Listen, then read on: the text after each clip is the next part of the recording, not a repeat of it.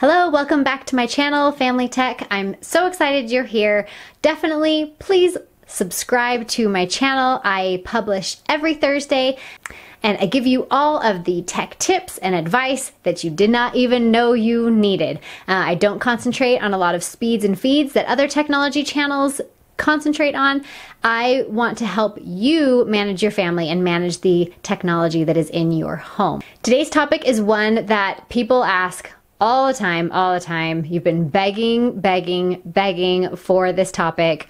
I'm finally giving in. I'm not really an Apple user, so uh, it pained me to do this video today, but I'm here for you. I want to help you guys understand and manage the technology in your home, and unfortunately, some of that is Apple devices. So, today's topic, I'm going to go through everything you need to know about setting up an iPhone for your kid. So you're buying your kid their very first iPhone against my recommendations, but it happens. I totally understand.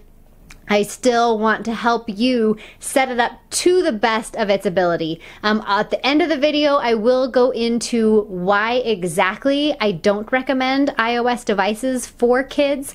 Um, as they get older, definitely you can get them an iOS device. I would still recommend following all of these steps that I'm going to lay out in the video to make sure that they are set up for success on their technology.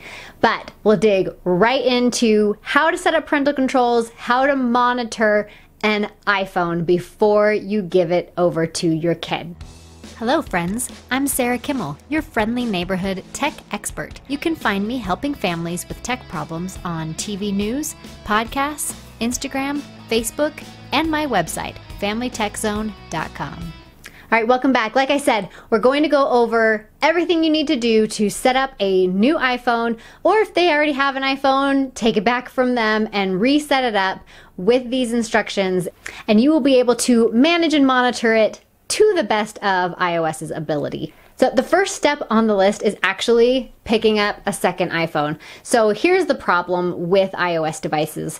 They are built for privacy and even if that's the privacy of a 10-year-old. Like I said at the end of the video, I am going to go into other reasons why it's not a great idea to get an iOS device for your kid. But if you're here, you've already bought it, you've gone down the rabbit hole, oh well, let's help you get it set up properly.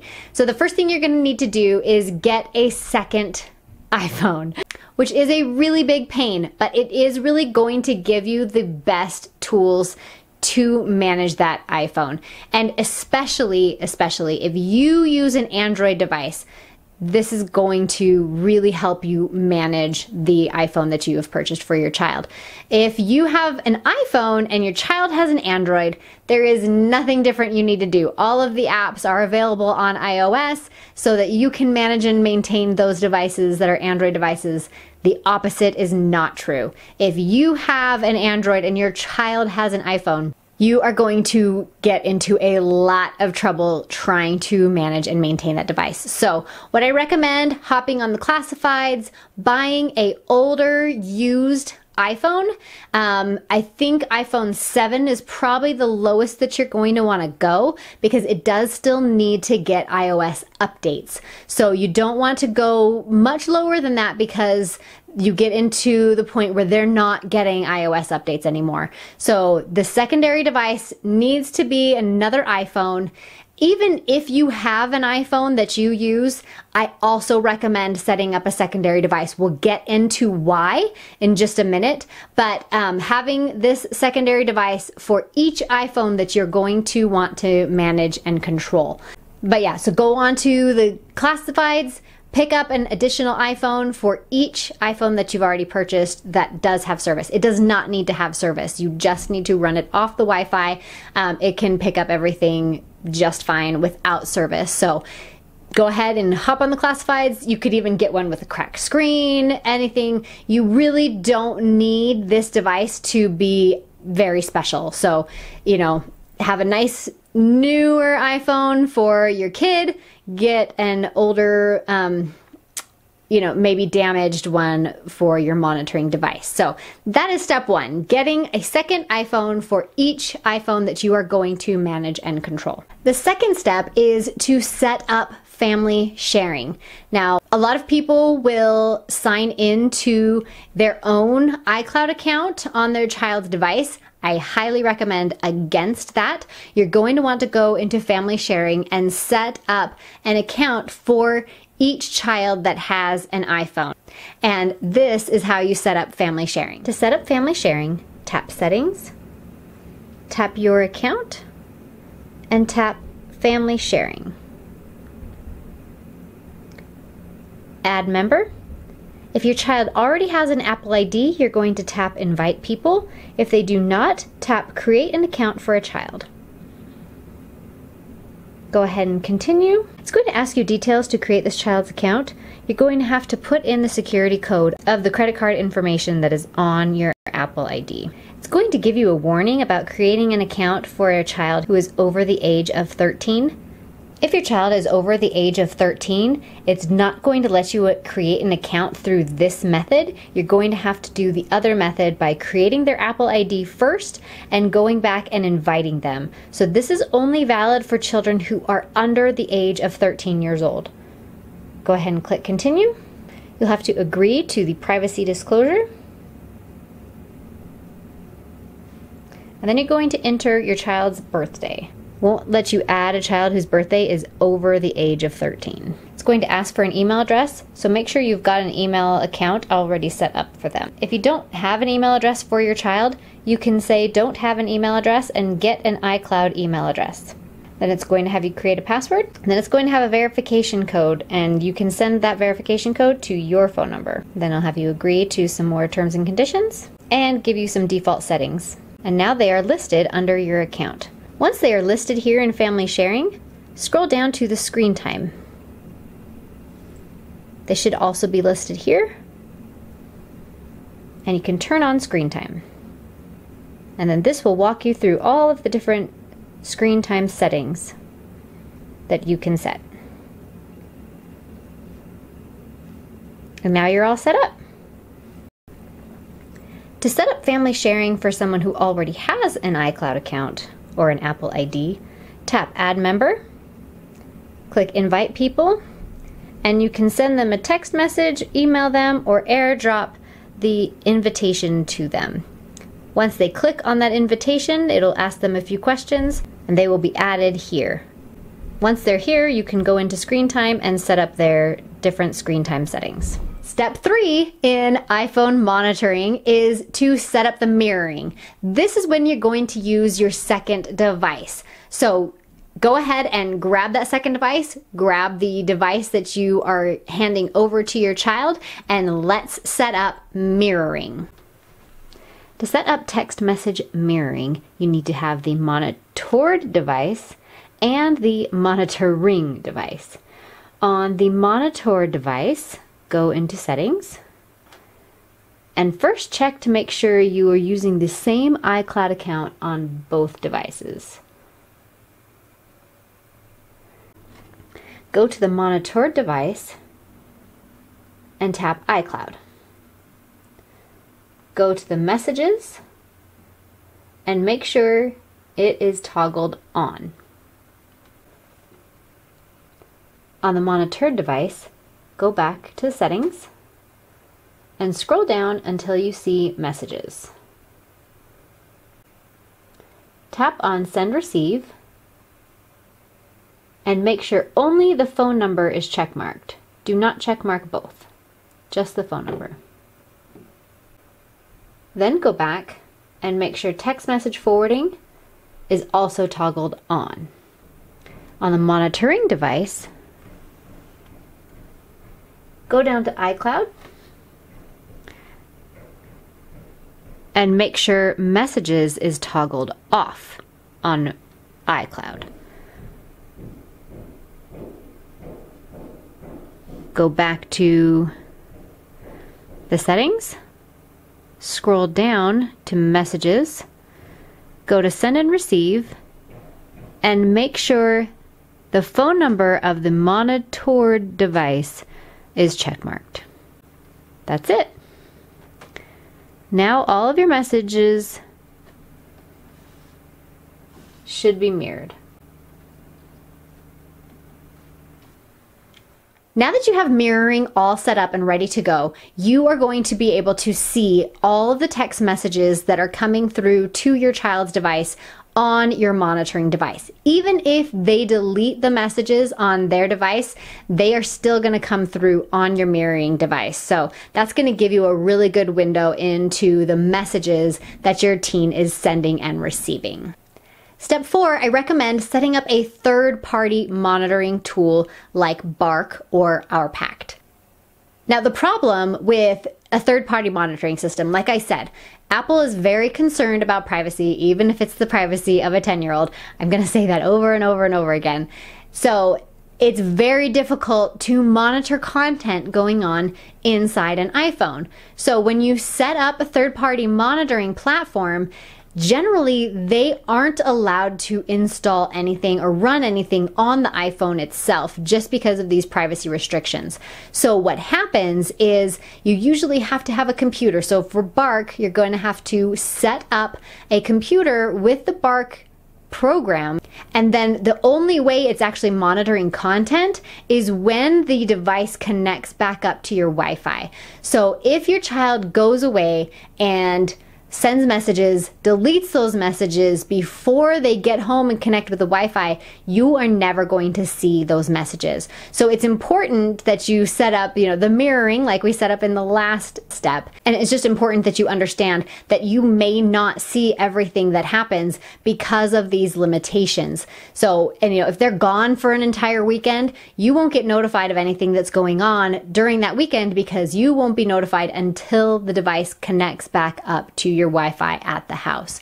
Um, because what it does is on Wi Fi, it runs a backup to the computer, and the monitoring program actually monitors the backup. So if the phone is away or the backups aren't running or something goes wrong, you aren't going to get those notifications. But what I like about Bark instead of just relying on the mirroring is A, it's going to handle some social media. It doesn't handle everything that it can on an Android device, but it does handle some.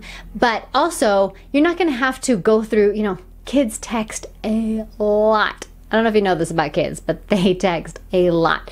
And if you don't want to have to go through all of those text messages, I mean, it would be like having a second job to go through all those messages. A program like Bark will just alert you if anything concerning comes up. And when you do see something concerning, then you can go back through the mirroring device and get some more context because it's only going to show you a brief snippet of what that conversation was about.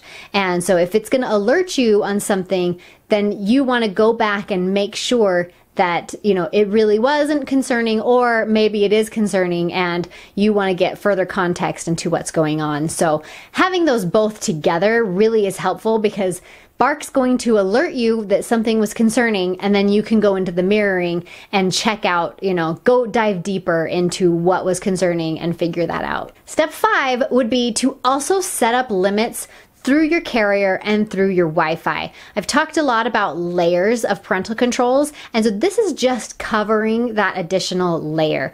Um, the on device layer is going to be covered with family sharing and screen time. Then the other layers are going to be just in app protections.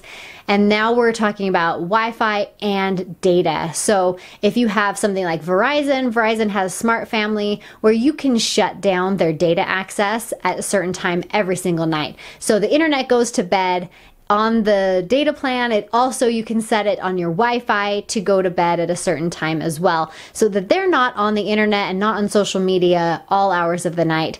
Um, very important, I feel like teens should get their sleep. So um, set up anything through your carrier you know if you have t-mobile or sprint or at&t they all have different kinds of family safety so make sure you work with them and figure out exactly what kind of family safety features they have and if you can shut off their data plan at a certain time every night.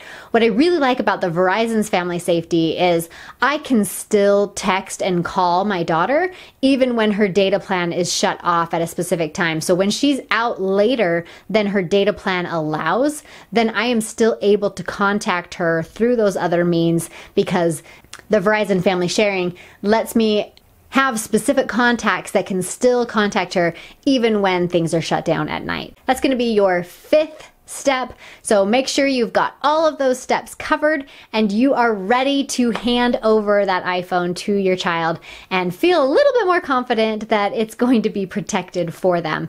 Uh, I did promise a few more reasons why iPhones aren't the best idea for teenagers. I already laid out one is you do need to have another iPhone in order to manage that. Screen time, there is no setting for Android for screen time. So if you don't have an iPhone to monitor or manage that device, it's going to be very, very difficult for you. So, you know, get that secondary device that is the mirroring device. The problem with the mirroring device is it's going to have the same iCloud account as your child's iPhone. So you can't set up any of the um, screen time management or app approvals or anything like that because it's going to need to be on a parent's iCloud account. So you can't use that mirroring device to manage and control the time limits on the device. So you do need to have another iPhone that you can set up the different management because you'll need your parent iCloud account signed into that device. So it's going to be very difficult if you have an Android and your child has an iOS device in those situations, I honestly just recommend you get yourself an iOS device, and then it's going to be a lot easier to manage and maintain. Um, unfortunately, because I am a huge Android user. Another limitation on screen time is once you approve an app, you can't take it back. So if they've downloaded Instagram and then you've decided, you know what, they're not responsible enough for Instagram, I need to take that away, and you uninstall it.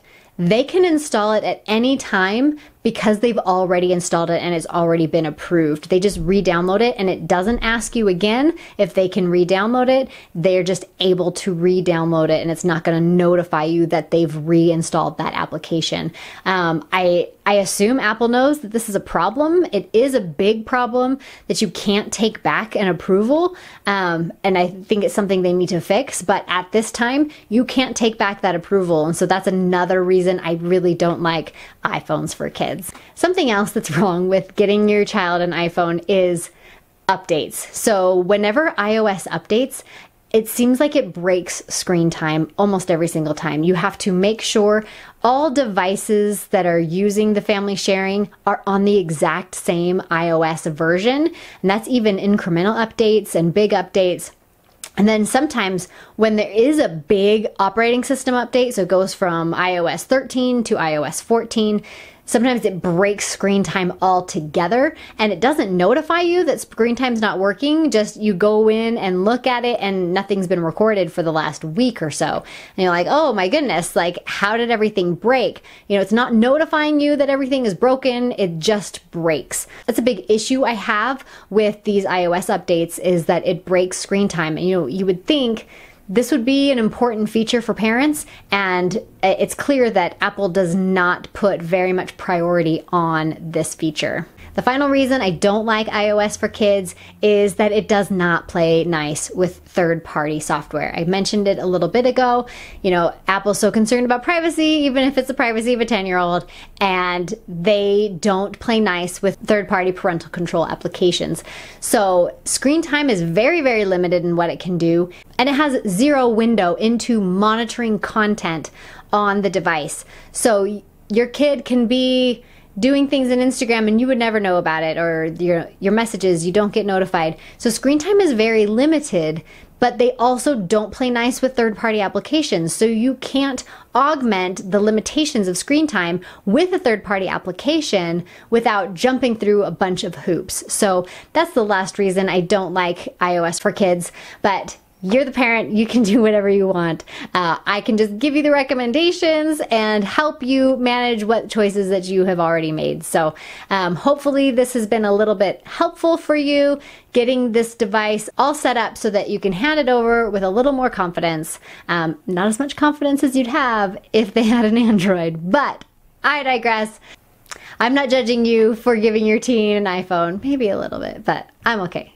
Uh, I just really want parents to understand those limitations, understand what they're getting into, and be able to manage and maintain it properly. So definitely subscribe. Like as I mentioned, I publish every Thursday. I am trying to go live every Thursday as well. Sometimes it's not going to work out, but we will see. I'm going to try and keep that up for a little while. Um, I love subscriptions though. I really want to help parents understand and manage technology in their home. Hit me up on Instagram if you have any questions. I answer DMs frequently on Instagram. I'm just at Family Tech on all social media platforms. So hit me up there and we will see you next Thursday.